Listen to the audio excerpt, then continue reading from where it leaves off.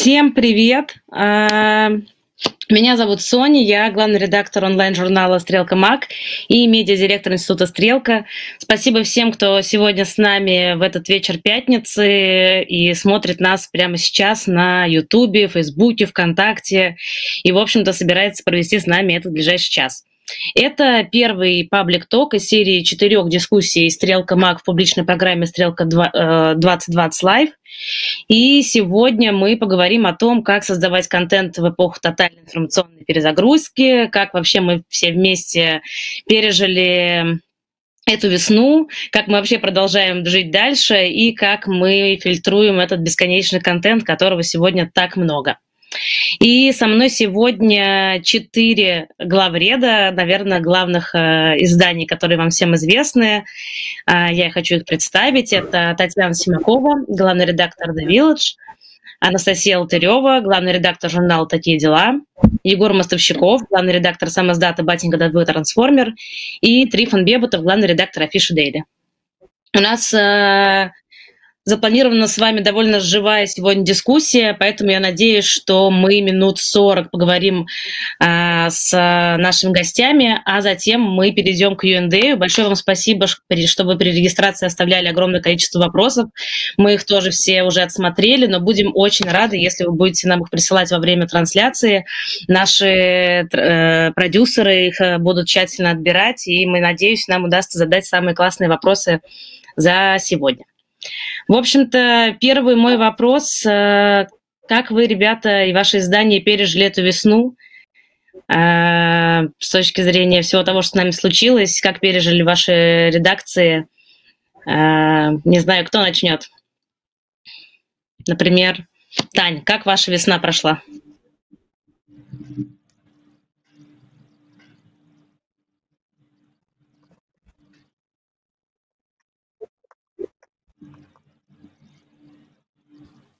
Должна, должна признаться, что весна была не из легких. Слышно Что-то меня? у нас все еще нет. Все, звук есть. А, вот, было, было сложновато, потому Я что самое...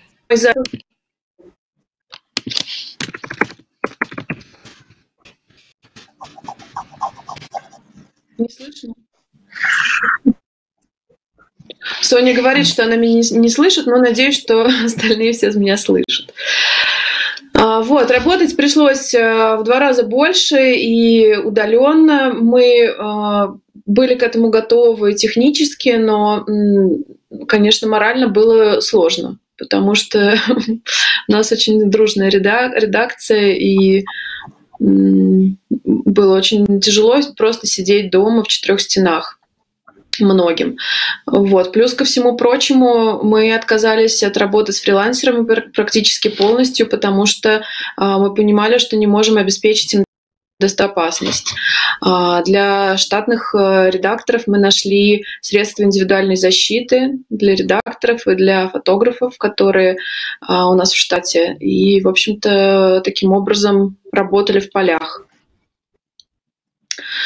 А, ну и, наверное, я думаю, я, я, думаю, это для всех э, примерно та же история характерна, что у всех вырос трафик, но э, монетизировать такой трафик э, стало гораздо сложнее. Не только потому, что у брендов э, тоже начался кризис, и они не, вообще не знали, чего ожидать, все заморозили рекламные контракты, но было еще сложно потому, что э, не все бренды хотели ассоциироваться с новостями о коронавирусе, а э, читали все остальное, особенно в первые дни недели, э, читали в основном э, все вот это.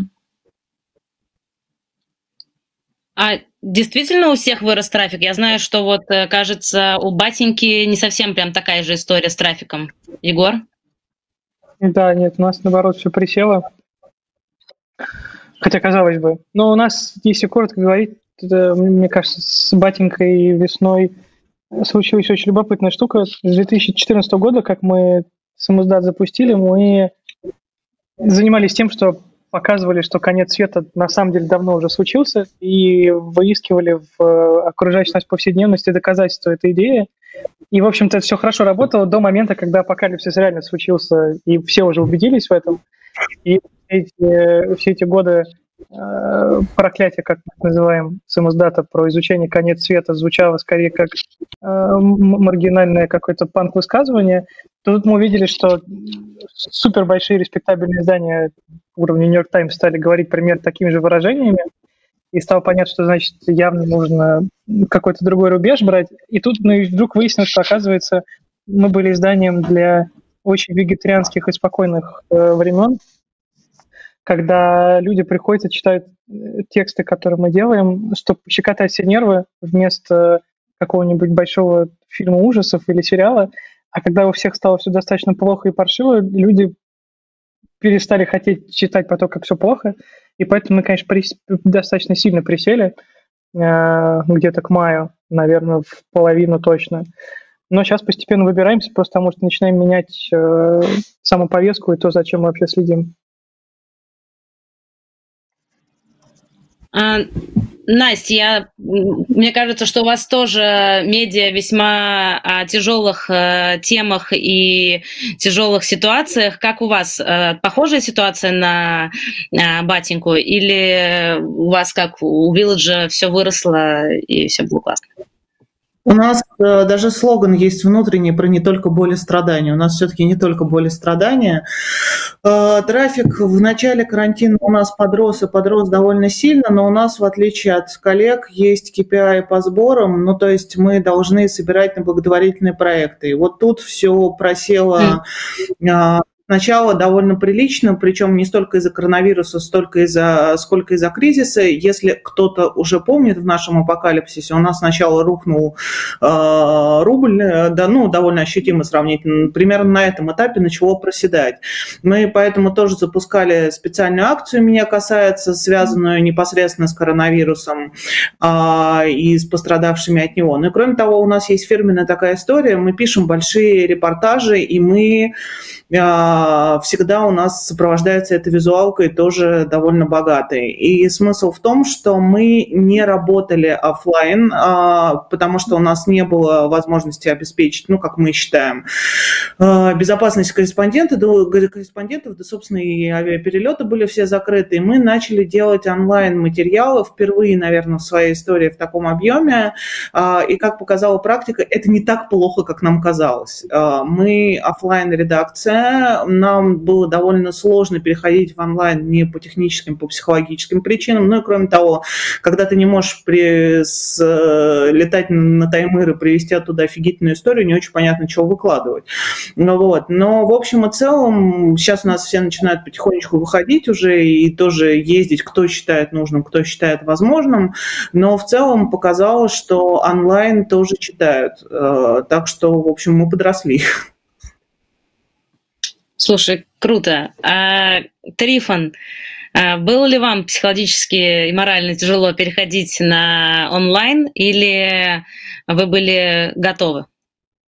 Оказались готовы? Ну, я думаю, да, а, я думаю, что эта история такая весьма индивидуальная на самом деле. То есть, ну, как кто-то в команде более приспособлен для перехода на какую-то новую такую в новый формат работы, кто-то менее. А, но в целом, если оценивать это с точки зрения именно эффективности команды, мы, конечно, показали хорошие результаты и очень быстро перестроились. Э, то есть все наши встречи, которые у нас были запланированы, и собственно, всегда запланированы типа планерок там и так далее, летучек и всего прочего, целом а, мы очень быстро перенесли в онлайн, мы стали созваниваться в Zoom, стали делать это чаще, потому что ну, повестка не позволяла это делать реже, чем хотя бы раза два в неделю, да, то есть по каким-то большим историям. Ну и по ситуативной повестке мы, конечно, постоянно общались в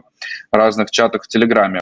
Вот. Э, что касается каких-то э, ну, перехода по именно контента, то тут надо понимать, что мы же не только прям исключительно такое городское медиа, как, э, например, э, Village, да, то есть у нас есть большой корпус еще развлекательного контента, и в этом смысле вот нужно было быстро перестроиться и понять, о чем мы, собственно, вообще будем рассказывать и как это будет происходить. Потому что если до этого мы говорили про то, что есть, там, не знаю, есть фестивали, есть, в конце концов, кино новое в кинотеатрах, то сейчас, ну, то есть на момент э, пандемии, э, естественно, ничего этого не было, и мы вот, э, значит, начали, вот Егор говорил о том, что они, значит, рассказывали о том, как все было плохо. Вот мы попробовали начать рассказывать э, людям о том,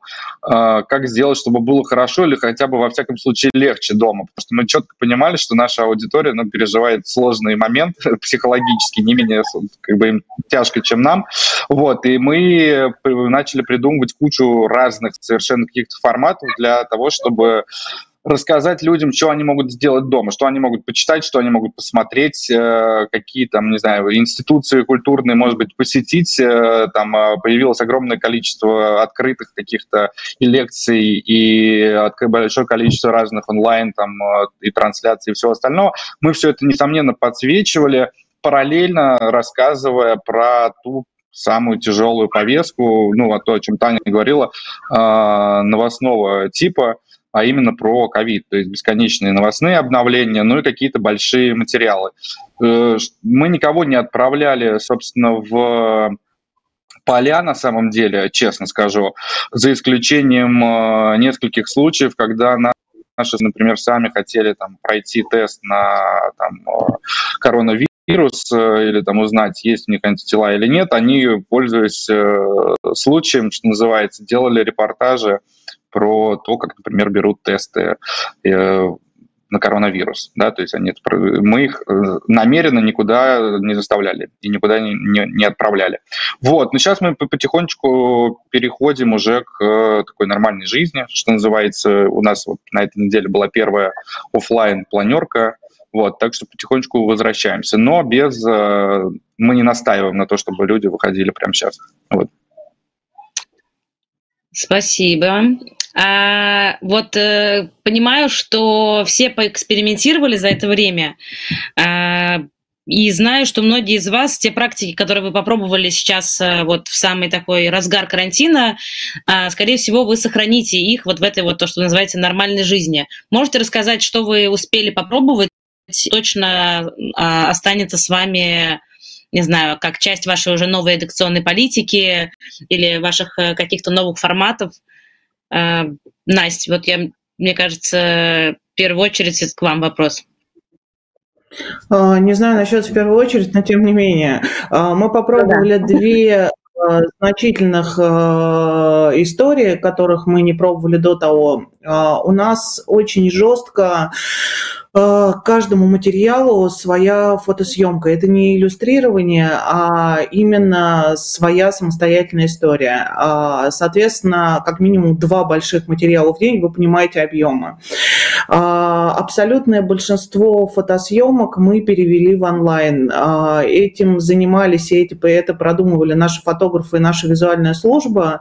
И то, что сначала казалось временным и замещающим решением, оказалось решением важным важным и проектным до некоторой степени, но потому что это действительно стало смотреться как самостоятельный вид искусства. Мы сейчас до некоторой степени э, думаем, что с этим делать, потому что у нас накопилось очень много очень хороших онлайн-съемок. Я не думаю, что мы будем отказываться э, от онлайн-съемок дальше. Кроме того, вот коллеги выходят, мы пока нет, мы до осени не пойдем э, в офлайн. Решение нашего издателя э, пока ждать снижения статистики по короне. И вторая штука, штука, которую мы попробовали, это так называемый solution journalism, журналистика решений.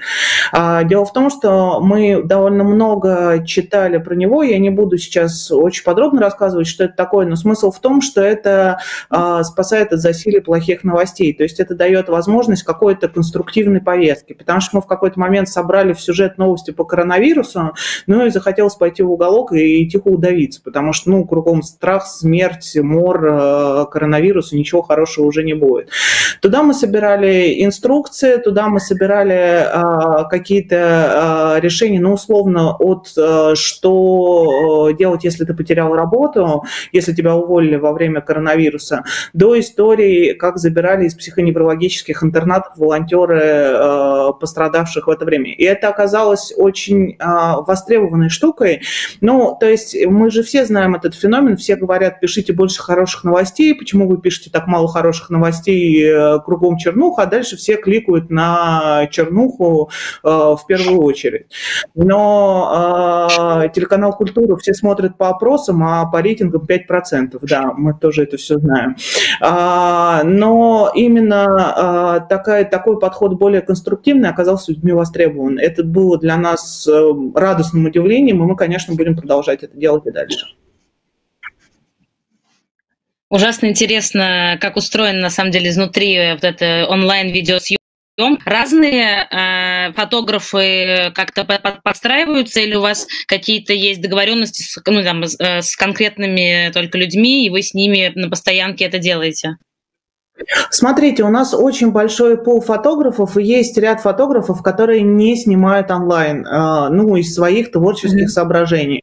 Мы не можем давить на человека творческого, как ему э, работать. Ну, то есть э, изначально к нам пришли с этим сами фотографы. У нас есть замечательная статья, э, приглашаю ее погуглить, Маша Марию Гельман э, у нас э, на сайте, как э, она начала фотографировать онлайн, потому что я думаю, что она окажется полезным не только в порядке СМИ, но даже если ты сам собираешься что-то такое попробовать, это действительно имеет смысл. А, фотографы сами пришли с наработками, но потребовалось довольно много доточки, этим занималась наша визуальная служба. А, вы знаете, я в какой-то момент сама попробовала пофотографироваться у нашего фотографа, просто, честно сказать, из интереса, а, как это проходит и как это для героев. У нас, например, довольно много героев, там, не знаю, с серьезными заболеваниями, с не очень хорошим интернетом, потому что они черти где находится. В общем, через полтора часа онлайн-съемки я сказала Маше Ионе Гребиной, который меня снимал, что Маш хорош, все, я больше не могу сниматься. И я не знаю, как ты уговариваешь э, героев это делать, потому что это очень тяжелая работа и для фотографа, и для героя. Но и результат получается классный, э, и это действительно очень сильно развязывает руки не только во время ковида. У нас, повторюсь, очень дальние расстояния, практически всегда наши подопечные могут жить где угодно. Э, и вообще есть разные задачи, которые можно решать этим способом. Изнутри это устроено так, что ты ходишь с ноутбуком в руке, и тебе говорят правее, левее, выше, ниже, теперь посмотри сюда, теперь замри, нет, замри, нет, перезвони по hands Ну, примерно так и устроено. Класс. Класс. А, Егор, а, ты, ты когда отвечал на первый вопрос, заикнулся, что вы вообще смогли как-то к июню поняли, куда двигаться дальше и как меняться. Расскажешь поподробнее, и повлиял ли на это карантин? Действительно ли это какая-то органическая история, и вам давно пора было перепридуматься, и просто время пришло? Это сложный вопрос. А, ну, тут надо, тут надо просто несколько дисклеймеров сразу сделать важных э, для понимания контекста, что Э, батенька трансформер запущен был в 2014 году, но придумал я его в 2007, и мы несколько раз пытались его запустить, там, параллельно занимаясь э, работой на других работах. И как бы вот с 2007 года до вот этого года, в общем-то, батенька занимался э, очень понятной миссией, достаточно долго, как бы для меня эта история уже 13 лет длится, это практически по, по моей жизни. А, и, но какой-то период я не, не сильно занимался и не, не плотно занимался самоздатом. Главным редактором собственного издания я стал только в начале этого года, и я, честно, 13 лет сопротивлялся этой участи всеми возможными способами. Я делал все, что угодно, чтобы избежать э, э этой э, расстрельной должности. И коронавирус, кризис и вообще все, что происходит, там и трансформации в нашем издательском доме э, и в мире просто показали, что ну, действительно пришло время меняться. И, в общем-то, батенька, на самом деле, за эти 13 лет э, это 7 или 8 разных изданий, которые пережили супер много трансформаций. И это такой постоянный, бесконечный процесс. Сейчас просто мы не к июню поняли, э, что нужно меняться. Это стало понятно там, мне еще когда только в январе. вступил в эту должность, но достаточно много времени ушло, чтобы понять, э, что, собственно говоря, делать нужно и чем заниматься. И понимание появилось. И сейчас поэтому мы перестраиваемся, это пока, наверное, там не так сильно видно, потому что подобные вещи требуют какого-то ритуального э, редизайна и прочее, но если посмотреть на редакционную сетку и то, чем издание занимается, на мой взгляд, там перемены уже произошли существенные. Но, в общем, так, конечно, все, что вокруг происходит, оно влияет на, влияет на содержание. И в этом смысле мне, ну, я говорил об этом на нашем предварительном созвоне, мне абсолютно непонятна боль и название нашего сегодняшнего созвона, а, поскольку мне не очень понятно, как можно устать от того, чем мы занимаемся. Но тут опять же важный дисклеймер, что, наверное, просто нужно отказаться от, ну, наверное, от создания контента действительно можно устать, потому что контент – это вещь э, бесформенная, и она может, она занимает столько пространства, сколько ты ей дашь. И когда ты начинаешь делать контент, он там съедает всю твою жизнь, и тебе ничего не остается, кроме как быть задавленным этой огромной многотонной э, хренью.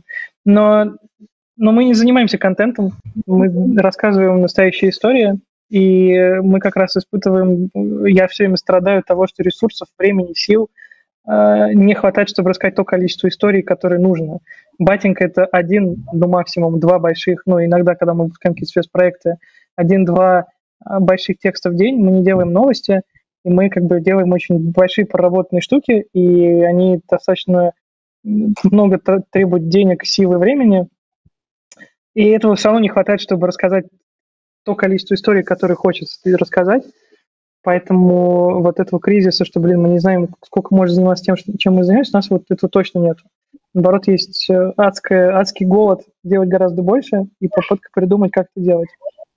И поэтому я тут, простите, что так много, скажу, что мы как раз все это время не прекращали выходить на улицы и работать и собирать материал. Мы даже продолжали снимать документальное кино э, в различных регионах страны, потому что, ну, как бы ситуация действительно, э, наверное, не самая простая, но все-таки журналистика профессия мало того, что неблагодарная, и вообще в целом не очень опасна, не, не очень безопасна для жизни, поэтому мы выбирались наружу, э, писали материалы, брали интервью, снимали кино, потому что как иначе? Ну вот, такая байда. Тань, э, вы, наоборот, очень много писали новостей, и вообще новости – это очень большая, мне кажется, часть вашей э, редакционной там, политики. Вы постоянно отрабатываете, в общем, эту действительность в какой-то бесконечном потоке. А у вас как-то изменилось, или на самом деле для вас, как для издания, вот таких, таких редакционных сдвигов не произошло? А, в самом начале, когда началась э, вся эта заваруха с коронавирусом, мы поняли, что нам нужно фокусироваться на главном. И для себя мы сформулировали так задачу а, – помочь нашим читателям а, адаптироваться к тому, что происходит сейчас э, с их городом, с их работами, с их квартирами, ну и так далее. А, мы выделили для себя какие-то группы самых незащищенных э, людей, в том числе это были и врачи, и люди, которым требуется а, лечение в эпоху коронавируса, не от коронавируса и так далее. То есть мы а, рассказывали о них, рассказывали их истории, помогали как-то адаптироваться. Да? Плюс мы запускали несколько важных акций. Например, мы сделали акцию, которая касалась доноров, мы сделали. А, и, кстати, собрали достаточное количество, извините, крови, которая была нужна. А, вот, мы подключились а, к движению мейкера против ковид, которые помогали врачам а, получать какие-то расходники, которых, например, просто не было в продаже. А, там, те же маски или там специальные э, заколки для этих масок, а, специальные щитки защищающие, ну и так далее. Там какие-то переходники. В общем, это была, правда, крутая история.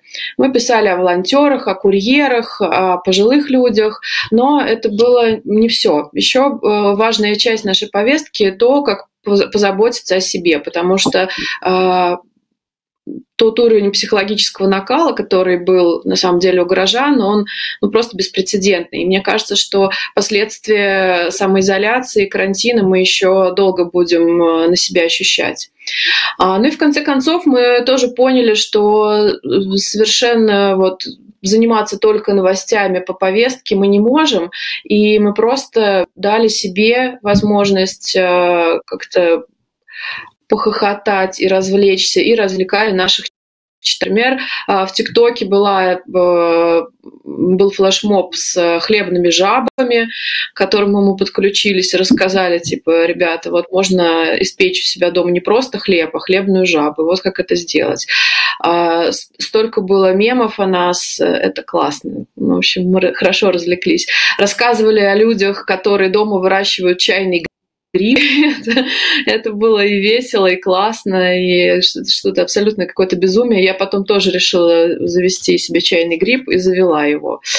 В общем, мы развлекались, да, рассказывали о том, что вот, ребята, вообще-то на самом деле можно дома сделать себе вот такую рекреационную, рекреационную зону и посадить какие-то растения, и, а если есть балкон, то вот как его украсить, а потом еще мы а, связались с нашими читателями, которым удалось хорошо украсить их балкон и рассказали про их балконы. Вот сделали эту удаленную съемку, как э, и редакция таких дел, мы тоже это практиковали. Вот, рассказывали о том, а, как выглядит город без людей и, собственно, и чего нам всем ждать. Ну, короче, просто выполняли свою работу и, честно говоря, то, что мы делали это хорошо, а, помогло нам э, вообще не осатанеть, потому что самоизоляция, ребят, ну это правда тяжело. Не знаю, как вам, но мне, мне самой лично было сложно. А... Спасибо, Таня. А, задумалась, действительно сложно. А, ну, ну, правда, ну, ну, ребят, ну вот вы сами, вот, вот как, вот как, э, как вы сами с этим справлялись? С тем, что невозможно выйти на улицу. Ну ладно, я собаку хотя бы завела и выходила с ней гулять два раза в день. А если, если бы не это, то вообще я не знаю, как бы я выжила. Ну, серьезно, сидеть в четырех стенах это просто, ну, это какой-то какой мрак. Домашний арест. Таня, в начале карантина у меня был один цветок, а сейчас 72. Ну, то есть спасибо, что не собака.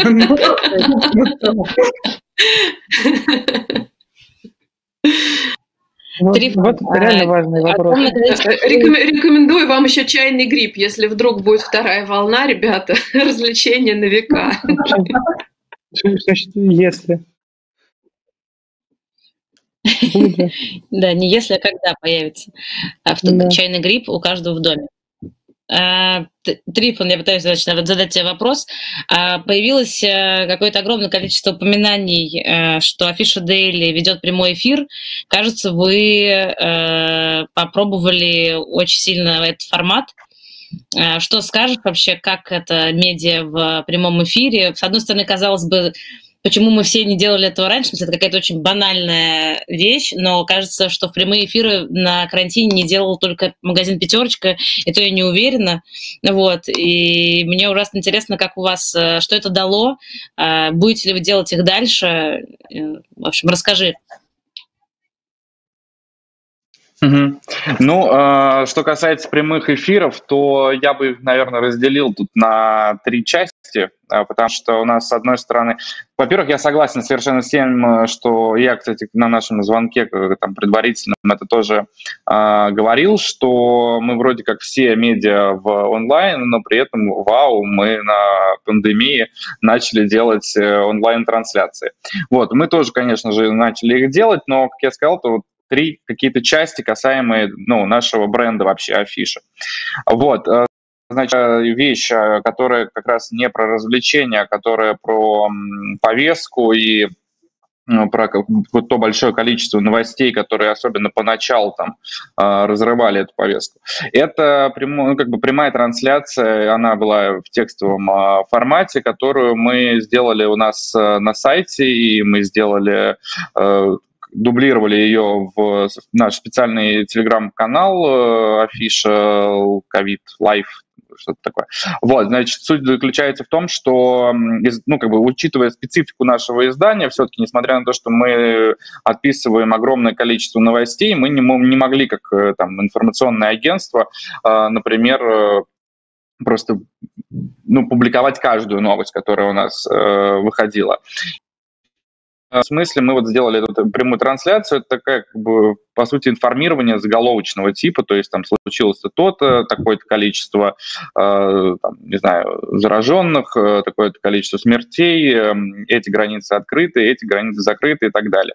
Ну, собственно, вот на сайте в течение всего всей э, пандемии мы эту трансляцию вели, и ну, она на самом деле, как каждый день ее читали люди. Вот, мы ее там обновляли бесконечно и э, дистрибутировали через наши соцсети каждый день получается. А, вторая вещь, как бы, которой занималась Афиша Дели, это прямые эфиры в Инстаграме, FaceTime, э, значит, ну, это такой даже, я бы не сказал, что это интервью, это скорее э, такой разговор с нашими друзьями, с героями э, издания, и в, в которых мы там, ну, обсуждали, естественно, и коронавирус, и пандемию и так далее. То есть там были люди более известные, менее известные, там, э, из э, России или, там, наоборот, те, кого застал э, коронавирус где-то в Европе, и, в общем, мы как-то делились впечатлениями о происходящем. Вот, ну, собственно, понятно, что прямой эфир вот, это, вот этот новостной, а, мы его продолжать не будем.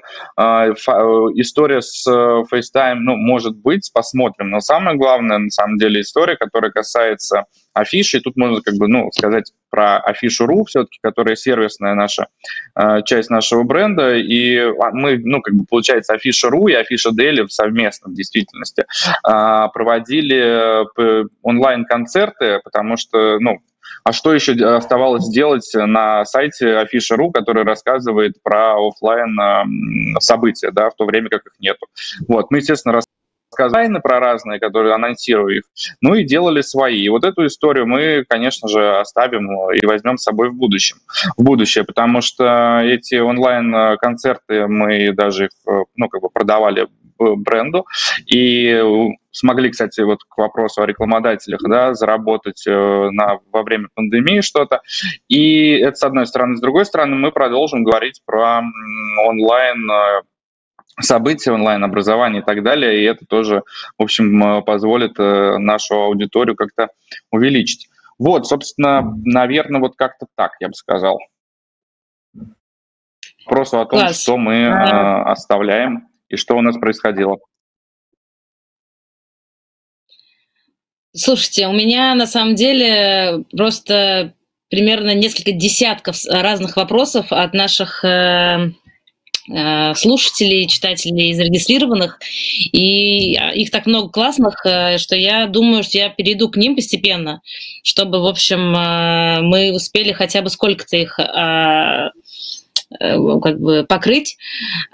Очень много вопросов про то, как вы э, вот боретесь с перегруженностью, с контентной перегруженностью, устраиваете ли вы сами себе хоть какой-то информационный детокс, хотя вы главреды, и вам вроде бы как э, нельзя там отключиться на секунду, нужно все время быть, э, значит, держать руку на пульсе. В общем, расскажите про свои рецепты. Э, может, у вас есть какие-то, знаете, как эти короткие, э, как-то, когда ты отключаешься на 20 минут, очень быстро спишь, снова включаешься и вроде поспал. Может, у вас также с информационным детоксом вы там отключили на часочек, вроде отдохнул. Как у вас это работает? Э, самое интересное, расскажите. Тань, начни, начнем с тебя. Ты тут э, больше всех э, про новости говорила. А, мы ввели у себя правила, а, несколько правил с самого начала карантина в редакции. А, самое главное э, — регулярность. А, каждое утро в 11 часов мы отписываемся и говорим, начала э, работать, что, что я делаю, да, какие планы на день. В три часа мы все созваниваемся, говорим там, вот у меня такие идеи, вот там то-то произошло, ну, короче, обычная летучка. А, плюс мы начали обсуждать еще вышедшие материалы и говорить, что зашло, что не зашло, но тоже на регулярной основе. А, мы ввели правило, что после 20.00 мы не переписываемся э, в, чатах, в чатах редакционных, только если Путин умер. Ну, то есть вот... Ну, хотела там, сказать, ну, то есть никогда. Вот, то есть э, Конечно, когда началась эта волна мету в московских медиа, мы э, не с Марцией, конечно, обсуждали это долго. Но после 12 у нас вообще комендантский час. То есть после 12 все э, отключаемся обязательно. Ну, и это на самом деле такая дисциплина, которая, ну, реально помогает тебе не выгорать, потому что если ты э, чатишься до трех часов утра и там доказываешь свою правоту, обсуждаешь работу, то э, какого-то пространства для отдыха просто не остается.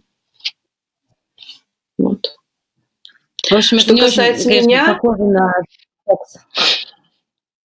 что, что, что, да, что касается меня, то э, когда только сняли карантин, я э, нашла в себе возможность и уехала в трехнедельный отпуск. Всем рекомендую. Очень хорошо. Вообще у нас, э, у нас реально ну, у нас очень-очень э, хорошо выстроены процессы, и поэтому я в целом могу уйти на мастер-класс, на круглый стол, уехать в отпуск, и а, каждый, кто у нас работает, тоже может взять отпуск и уехать. У нас э, в целом, когда процессы выстроены, это помогает людям меньше выгорать. Серьезно.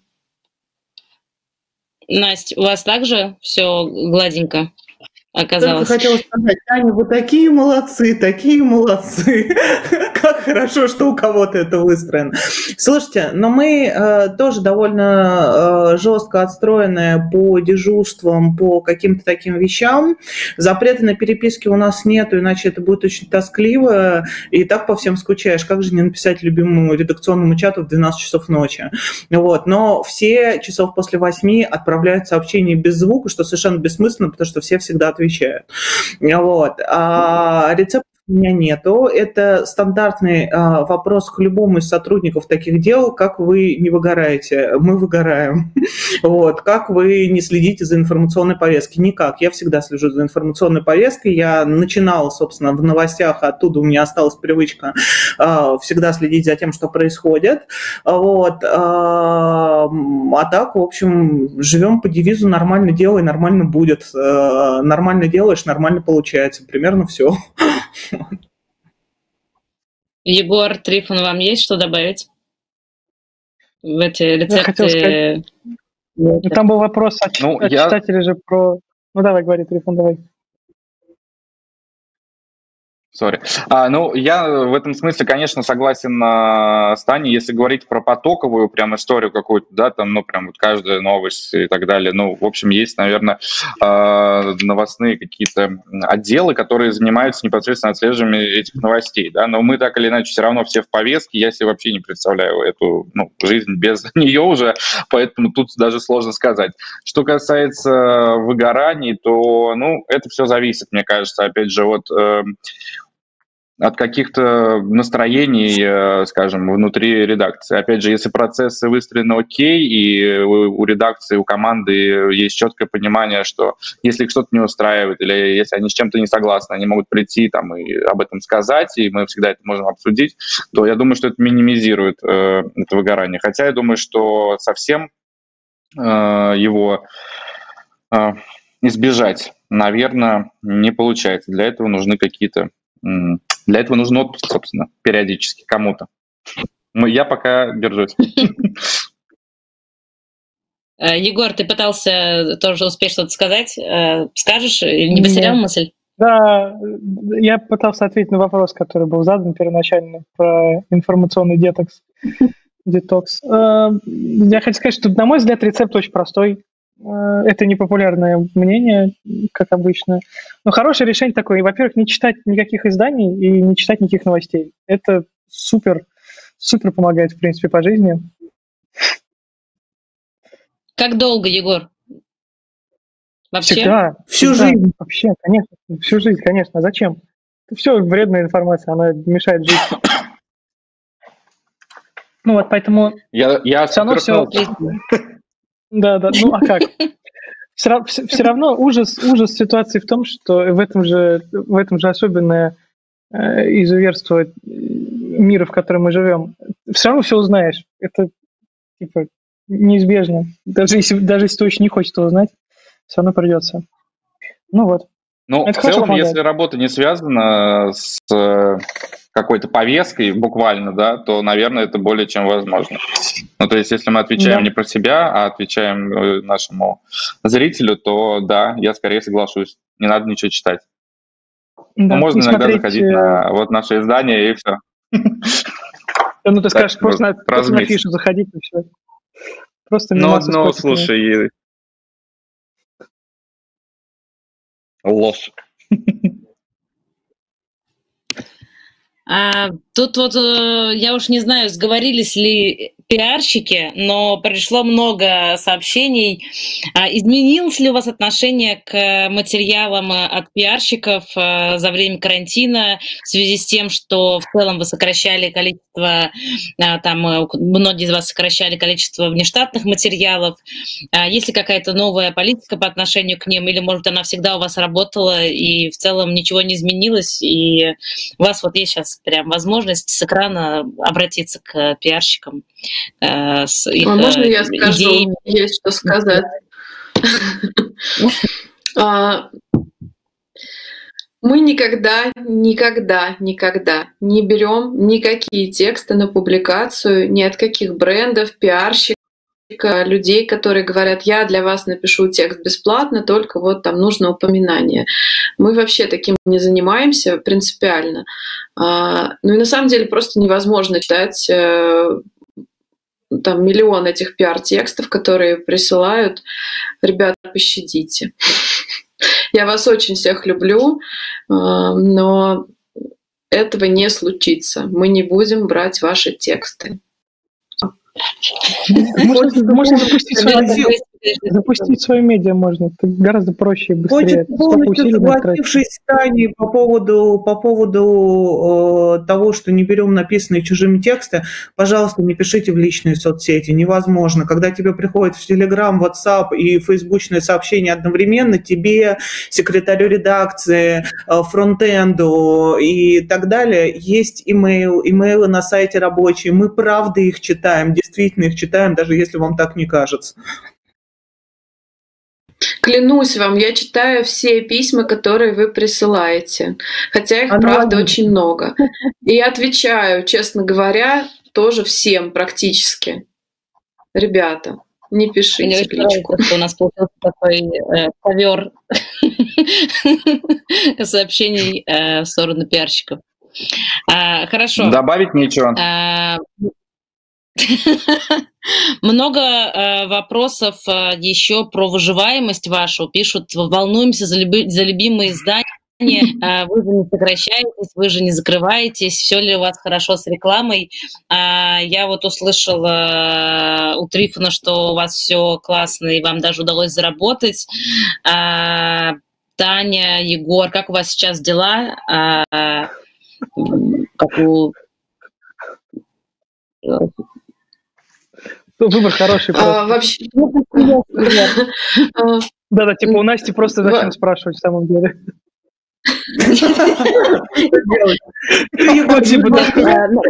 Прости, пожалуйста, я не знаю, почему я обратилась, э, почему-то я вижу слева и справа от себя Таню Егора и как-то сориентировалась так. Настя, начни, пожалуйста. Как у вас дела с рекламой? Э, установилась ли ситуация со сборами?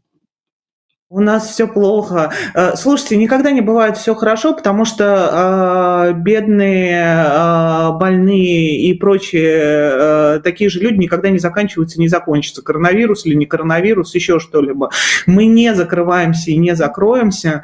Мы э, стараемся придумывать что-то э, обновля... ну, обновляющее, да, там повестку жертвы. Мы отлично понимаем, что э, сейчас у всех гораздо меньше денег и возможностей, чем было А, я а, как-то, пользуясь случаем, а, хочу призвать вас поддержать любой фонд, абсолютно любой фонд, но не личную карту, а любой фонд рекуррентным платежом.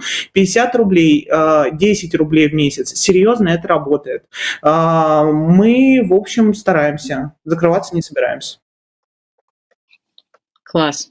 Очень, очень воодушевляет. Да, дайте а... денег, такие дела, как обычно, да. А, Тань, Егор, э, я все-таки пройдусь по вам. Как у вас дела? А. Егор. Тань. Ну, Таня, давай, давай. Окей, окей, я скажу. На самом деле у нас э, рекламная служба и редакция существуют отдельно, и я не уверена, что я могу рассуждать о том, э, как, как у нас в порядке наши финансовые дела. Но судя по тому, что у нас каждый день запускаются спецпроекты на сайте, как бы вроде все окей. Надеюсь. Вот. И но от денег я не откажусь. Ребята, несите денег. Отлично. Егор. Ну, мне кажется, что есть только одна фраза, которая хорошо описывает вообще все. А, что, что, что мертво умереть не может. Поэтому батенька трансформер, ну, Уж если он не закрылся за... Это вообще здание, которое должно было погибнуть в первый месяц своего существования. А, уже если это не произошло, я не представляю себе, что должно случиться для этого. Поэтому нет, мы не закрываемся. Нам достаточно сложно, потому что это все-таки здание, которое, как и весь издательский дом, был запущено без каких-либо а, инвесторов и полностью зарабатывает на свою жизнь самостоятельно. И у нас как бы нету ни, ну, ничего нету, все только все, что заработано собственным трудом, позволяет нам жить. И нам, конечно, сложновато, потому что мы зарабатываем на, на рекламе, с ней за кризис все достаточно сложно, но мы как-то пробились, и, ну, в общем-то, выживаемость, как мы шутим, это одно из наших главных УТП. Поэтому нет, все с батенькой хорошо. Да, вот, кстати, Егор, э, около 10 одинаковых вопросов звучали как не умрут ли лонгриды. И мне кажется, это, конечно, как будто в первую очередь, когда я говорю слово лонгрид, у меня в голове вот э, из вас э, четверых возникаешь ты. А, почему-то народ, я уж не знаю почему, но их действительно очень много этих вопросов, что предвещают смерть большим и длинным текстом, и я знаю, что вы всегда отстаивали этот формат, и продолжаете отстаивать. Э, что скажешь? Почему они, не знаю, не умрут? Вы сами продолжаете делать ставку на эти большие тексты? Или вот как раз, говоря о вашей новой э, какой-то там политике, новом подходе, вы дробите как там, я не знаю, эти тексты и тоже сокращаете их объемы? Ой, нет, ох, если... Я только что выпустил во вторник трилогию про Схигумена Сергия, там 130 тысяч знаков, э, три текста сразу в один день. И, ну, ну, понимаешь, какая история? Ну, типа, и лонгриды хоронят, ну, идиотское слово, но длинные тексты хоронят, я сколько себя помню, я как э, журналистом решил стать 12 лет, вот я с тех пор все жду, когда наконец их похоронят. Э, мне кажется, тут есть... Ну, я всегда руководствуюсь одной очень простой штукой, что сам по себе... С лонгридами ошибка всегда в том, что э, людям кажется, как будто бы Э, особенно молодым журналистам, когда только начинает работать, что э, сама, ну, типа, размер объем текста, это, типа, есть его какое-то, во-первых, а, главное качество, б, э, исчерпывающее какое-то описание и суть. Э, большой текст – это не самоцель, это не, не какой-то формат. Большой текст продиктован не желанием написать много букв, а тем, что история требует какого-то размера. И мы видим, что есть тексты, которые люди не очень дочитывают до конца, а есть вещи, от которых люди не могут оторваться. У нас, э, там, у нас средняя длительность сеанса чтения на сайте 7 минут 20 секунд. Это в среднем. У нас есть тексты, которые там вот не знаю, недавний репортаж Иры Щербаковой про трэш-стримы, средняя длительность сеанса 35 минут на странице. Люди просто там, приходят и читают, потому что там есть история, от которой невозможно оторваться. И в этом плане э, я не думаю, что куда-то эти вещи уйдут. Но все зависит только от того, что там внутри есть. Есть там история, мы делаем над ставку, мы это менять не собираемся, мы думаем над тем, чтобы... Ну, то есть я всегда хотел сделать патинки новости, у нас просто никогда не было на это никаких возможностей, и тут еще вопрос новости, какие, зачем и в чем их э, фундаментальная задача, кроме того, чтобы качать трафик. Э, это не значит, что мы отрицаем какие-то короткие форматы, есть соцсети, в которых можно историю рассказывать иначе. Но большие тексты, я не думаю, что карденция, я думаю, наоборот.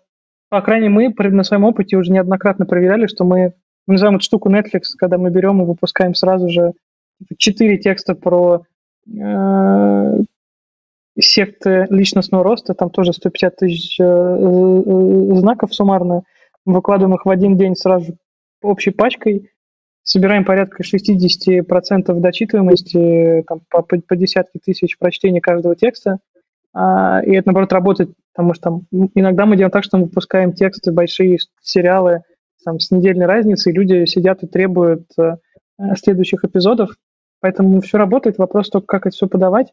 И тут есть что еще улучшить, конечно. То есть, мне кажется, вообще наша глобальная задача в самоздате заключается в том, чтобы переизобрести чтение и помогать человеку такие объемы воспринимать, потому что все-таки я понимаю, что текст — это работа не только команды, которая выпускает его, но это во многом работа человека, который читает. Это все-таки труд и достаточно безжалостный, э, требующий дисциплины, усидчивости, и труд, который, в общем, достоин всяческого поощрения. Я даже стал в какой-то момент думать, что э, супер странно, что мы в эпоху современной технологий торгуем вниманием, и, и, и нам платят за то, чтобы покрутить перед глазами нашего читателя каким-нибудь баннером или какой-то рекламой, и при этом мы, не, мы сами не платим людям э, за работу, которую они проделывают. Я все думаю о том, что придумать историю, когда люди могли бы еще и э, получать деньги за то, что они делают эту весьма непростую работу и читают что-то. Э, вот это что-то любопытное. Я пока очень абстрактно представляю, что это может быть. Но вот мне кажется, что, в общем, там есть, есть чем еще поработать в больших историях. А, Настя, э, у вас тоже много больших э, длинных текстов. Э, согласна с Егором или какая-то другая сейчас позиция появилась? Сложно, сложно добавить что-то после Егора, кроме того, что Егор родненький придумывай, пожалуйста, быстрее, чтобы платили за чтение, очень давно хотелось бы. Вот. А на самом деле, если серьезно, а, то это стандартный вопрос любого студента журфака. Они все такие приходят, хлопают глазами и говорят, а на сколько тысяч знаков должен быть текст? И всегда есть а, стандартный ответ, который выглядит как плохой текст на полторы тысячи знаков не прочтут, хороший текст на 50 тысяч знаков прочтут. У нас тоже высокая дочитываемость, как и у батеньки, мы стараемся как-то идти в этом направлении тоже. Не похороним не длинные тексты, потому что текст и история, а, главное, собственно, правило сторителлинга этого модного, замечательного слова, оно такое же дурацкое, как лангрид, а, что если есть история, которую можно рассказывать, ее будут слушать, читать, смотреть, потреблять в виде, не знаю, от сторис до тиктока и э, подкастов, вообще не важна форма подачи. Я абсолютно уверена, что длинный текст не хуже и не лучше других тут форм. Мы ничего не меняем. А, Трифон, Таня, есть что добавить?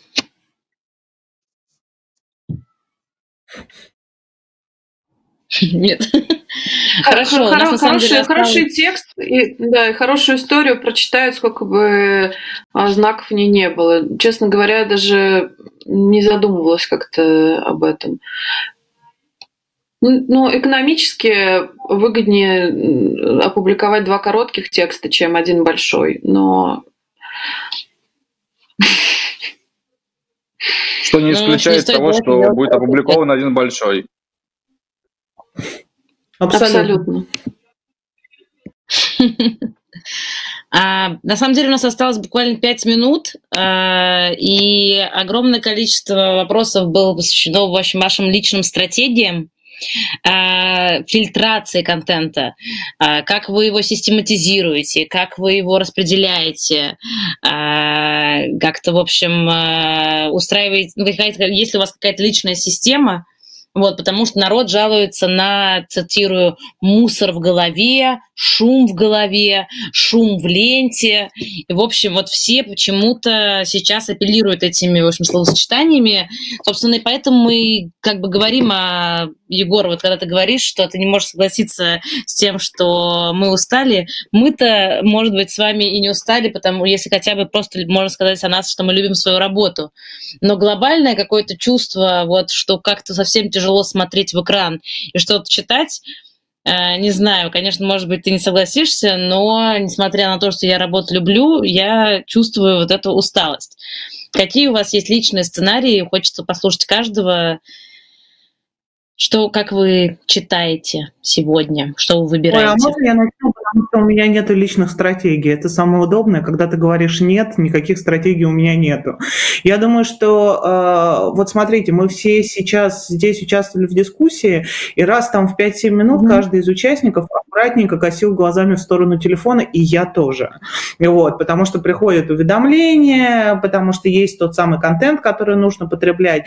А я бы законодательно запретила разные виды мессенджеров. Серьезно, это невыносимо. По 25 э, рабочих мессенджеров групп, нужных для работы групп там, и так далее, и так далее, это очень э, тяжко. А если серьезно, по-моему, ничего прекраснее того, э, чтобы потреблять информацию нету в принципе, и э, проблема в том, что мы Э, скорее проблема в том, что мы имеем, в общем, шансы на сужение потребления этой информации, э, как все мы видим в последние годы, и я бы спечалилась скорее об этом, чем о том, как потреблять. Я потребляю информацию бессистемно и с большой любовью. Такая личная стратегия. Надеюсь, кто-нибудь сейчас скажет что-нибудь более вменяемое. Прости, Настя, не могу не уточнить, когда ты сказала сужение потребления, что именно ты в этот момент имеешь в виду. Мне кажется, просто прозвучало как само собой разумеющееся, но мне кажется, не для нашей аудитории. А, я думаю, что наша аудитория заметила, что, а, ну, не знаю, я активно начала читать а, прессу лет 15 назад, что количество сокращений, ну, например, изданий печатных и классных текстов, которые мы читали тогда, и количество текстов, которые есть сейчас, довольно сильно сократились, и дело было отнюдь не в том, что эти тексты или эти издания были плохие. Информационное поле сужается, несмотря, это парадокс парадоксально соседствует с тем, что в принципе контента очень много, но, например, лет пять назад на вопрос, где почитать про бизнес и где взять какую-то деловую информацию, я бы ответила с гораздо большей легкостью, чем сейчас, не специализируясь при этом на бизнесе. Понимаете? Ну, то есть дело примерно в этом, как по мне. Да, поняла теперь. Спасибо. Кто продолжит? Тань, продолжишь? Uh, да, у меня стратегия такая, не вступать в фейсбучные срачи, а, не открывать личные страницы. Ну, то есть у меня Инстаграм и Твиттер, они закрыты много лет, и посторонние люди их не читают, потому что ну, у меня должно быть какое-то а, личное пространство для моих друзей. И читать почту два раза в день, утром и вечером. Класс. Я прям захотела записать, начать, потому что я, конечно, делаю все. Все открыто, везде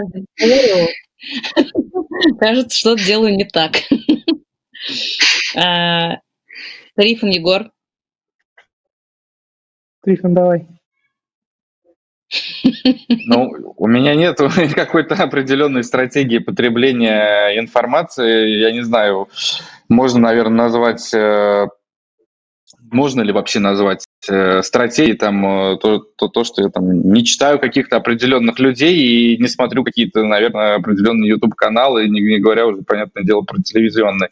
Все остальное абсолютно стихийно происходит. Это, ну, с одной стороны, там, часть моей работы, с другой стороны, до того, как э, я стал э, работать в медиа, я, в общем, всегда за всем следил, и поэтому мне, у меня нету какого-то большого дискомфорта по этому поводу, да, то есть есть какие-то, это сложно, наверное, как-то артикулировать, но уже есть какая-то привычка, я не знаю, там что-то я смотрю в Ютубе, что-то я читаю, что-то как бы я беру из читаю в смысле на сайтах изданий, что-то я беру там из э, телеграм-каналов. Ну, в целом э, ни, никакой пилюли чисто, чистоты контента, наверное, не существует. Все мы попадаем на какую-то фигню под час, скажем так. От фигни не спастись. А, Егор, Абсолютно уверен. Закончишь? Э, да. Мне кажется, ну, нет, мне тут две части будут ответа. А, если про меня говорить, а, не думаю, есть какая-то личная стратегия, кроме того, что ну, меня, меня часто обижаются, ругаются, что я супер медленно, несистемно отвечаю на сообщения в любых мессенджерах и в почте. Это правда так. Я рано или поздно всегда отвечу, но у меня не получается сделать какую-то системную работу. И в целом я скорее стремлюсь э, количество информации, поступающей в мозг, уменьшить, поскольку я понимаю, что этот переход к второй части ответа, что вообще-то общий грех, которым мы все заняты, не только журналисты и люди в медиа, а вообще так как сейчас все медиа занимаются. И пиарщики, которые присылают миллион писем, будут с каждым годом все больше открывать собственных медиа, потому что гораздо проще и дешевле, чем слать в другие медиа свои пресс-релизы. Э, мы все заняты тем, что мы производим чудовищное количество говна ненужного, э, запредельное просто. 99% того, что на что тратятся пиксели на, комп- на компьютере, ненужная, бес, бессмысленная жвачка. Ладно, если жвачка, еще в лучшем случае, это хотя бы мозг разжижает, когда хочется потупить. Поэтому это нормально, это, это, это, это в какой-то степени это нужно, но я понимаю, почему нам приходят вопросы с тем, что слишком много информации, не понять, за что браться. У меня есть ощущение, что происходит того, что практически никто из нас не ставит задачи себе попытаться ну, как-то система, систематически мир изучать и систематизировать информацию, которая происходит не по рубрикам, э, в собранном, где текст собирается по весьма условным и выдуманным нами и не всегда понятным критериям. Батенька в этом плане тоже хороший пример, что там объяснить уже рубрикатор, зачем он так придуман, достаточно сложно. Но если начать смотреть на мир как глобальный, понять, что есть на самом деле не так много процессов, которые происходит сейчас на планете, и все новости и события, которые мы видим, это лишь частные проявления тех или иных процессов. Если пытаться эти процессы увидеть, обозначить их и попытаться собрать картинку мира, чтобы объяснить то, что, ну, все, что происходит в новостях, это, может быть, отдельные смешные или жуткие какие-то истории, но очень сложно становится каждым днем за всем этим потоком сообщений понять, что действительно происходит. И это очень непростая задача, потому что мир становится сложным с каждым днем. В нем невозможно разобраться уже, как все устроено. Но это какая-то правильная, благая миссия, к которой стоило бы стремиться, сделать так, чтобы людям в целом не нужно было такое количество времени тратить на чтение всего, что производится. Люди могли читать больше книжек, может быть, кино смотреть, какое-нибудь документальное или мультики. Но это непростая штука. Вот я об этом все время думаю и надеюсь, у нас в Батнике получится каким-то образом хотя бы чуть-чуть систематизировать э, шесть всего лишь глобальных процессов, которые происходят, как-то их обуздать и собрать какую-то коробочку с ячеечками. Вот. Егор, спасибо, Короче, надо спасибо тебе большое. Вообще хочу вам всем сказать большое спасибо. Э, было очень как-то содержательно и захотелось сразу и систематизировать э, мир и закрыть соцсети. А, это была первая дискуссия из э, четырех запланированных Стрелка Магом в нашей программе Стрелка Лайв 2020. Э, мы решили начать э, с тех, кто занимается, в общем-то, тем же, что и мы, объясняет э, действительность вокруг. А, продолжим мы, наверное, нашими главными героями. А, нет, мы продолжим а, говорить о тех, кто сегодня занимается дата-журналистикой. Э, следите за анонсом, потому что кажется, что мы все тонем в количествах э, графики и самые разные. Наконец-то это случилось с нами, в общем-то, как раз на карантине, и надо как-то в этом разбираться. В общем, поговорим с теми, кто э, за последнее время очень активно делает самые разные исследования и выпускает их в форме больших таких дата-материалов. Мы поговорим в одной встреч с фотографами из совсем разных мест, которые фотографируют панельное жилье, и спросим вообще, каково это им сегодня все это продолжать фотографировать, неужели это так сильно волнует, почему они посвящают этому свою жизнь. И мы встретимся с активистами, э, с нашими любимыми активистами, которые обеспечивают, в общем-то, изменения снизу, которых волнует сохранение самых э, разных вещей, от вывесок э, до, не знаю, дверей в подъезде и спросим, как вообще это сегодня быть э, активистом. Вот такие у нас запланированы встречи. Я очень надеюсь, что э, вы, аудитория, которая сейчас еще нас смотрит, э, будете такими же активными и не устанете окончательно к концу этого лета, а найдете в себе силы и придете к нам. Вот, спасибо большое. Наши все записи останутся в наших лентах.